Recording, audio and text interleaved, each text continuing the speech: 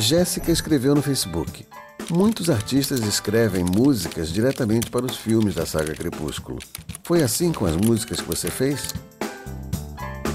O Telecine foi até Hollywood levar a pergunta para Robert Pattinson e ele respondeu: Jessica, uh, no, I didn't write. um, I didn't write the music.